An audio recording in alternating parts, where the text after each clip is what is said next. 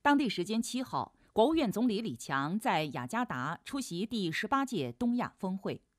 李强表示，面对新形势新挑战，东亚峰会应继续坚持自身定位，为实现地区长期稳定和持久繁荣发挥更大作用。一是更好发挥促进发展作用，激发区域增长活力，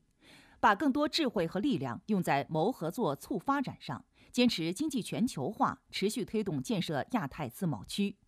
二是更好发挥战略对话作用，增进各方相知互信。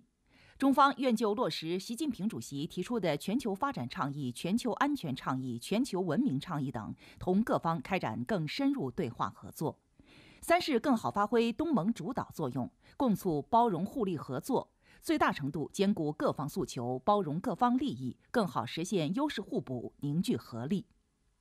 李强强调，中国和东盟国家正积极推进南海行为准则磋商。希望域外国家发挥积极和建设性作用。海洋污染影响深远，要以对历史、对人类负责的态度保护海洋生态环境。与会领导人表示，地区国家应当践行多边主义，携手应对气候变化等全球性挑战，打造地区合作平台和增长中心，促进地区和世界和平与可持续发展。